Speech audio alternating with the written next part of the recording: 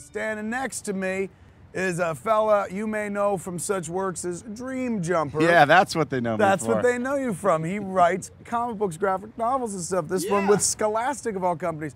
Also, my uh, guest Greg Grunberg has had some roles in television. A couple of them. List them for him. Heroes, Felicity, Felic- Alias, uh, Heroes. Lost. He's the pilot. Lost, yeah, That puts the plane on the island. Without him, there's no Lost. Imagine if you did your job correctly in that show. It ends in the first episode where everybody lands Exactly. and goes on with their life. It would have been called Hover if we just went around the airport. We're Circling. waiting for clearance. Uh, this gentleman has also been in features galore, including uh, Star Wars: The Force Awakens, Yes. Snap Wexley, Yeah. Rebel pilot, pilot of the uh, not Rebels, they call it the, Resistance. Resistance. Yeah. And now you're in a movie that comes out, another Star movie. You're in all the Star movies. Yes. You're in Trek a little bit as well. yeah, Star Trek Beyond was such an honor to be in these movies at all. I would do craft service in these movies. Do you get fitted for those tight ass outfits?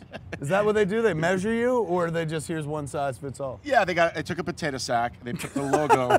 the Starfleet logo right in the corner. exactly, and it fit me even tight. Like, That what do you tight think, on me. Captain Finnegan? You're like, I think I should get a better outfit. Um, it's just so much fun. Plus, this year we're honoring. Um, we had just tragedy in the family, obviously with uh, Leonard. Nimoy and Anton passing away. So it's um, a time. The movie truly honors this incredible franchise. Um, Justin Lin did an amazing job with the movie and the cast. I'm just so lucky to have a small part in it. Me and Greg are doing a show Yeah. for AMC that starts Sunday night right after Preacher. Yeah. There's a Comic Con it's called Geeking Out.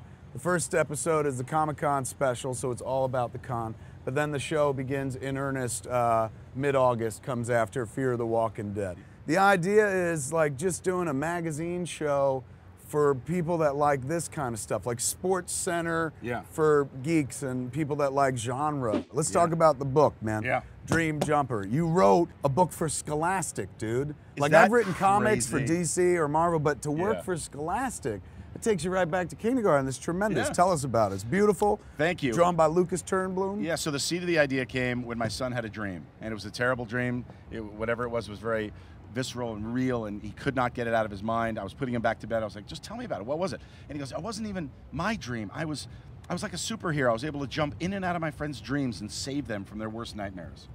And I was like, "Don't go to sleep. We're about to pay for college." Yes. I was so excited. I thought that is a cool idea. If you think That's about why you have a kid when you're creative, because you're like, give me your ideas. They're Right. mine now. That's what it's all about. Yeah, it's like work for hire. You got someone in your life, and you have had since you were younger, JJ, who is also natural born storyteller. When did you guys meet?